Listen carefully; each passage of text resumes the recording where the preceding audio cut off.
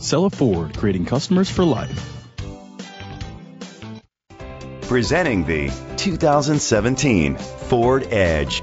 It's powered by front wheel drive, a 2 liter, 4 cylinder engine, and an automatic transmission.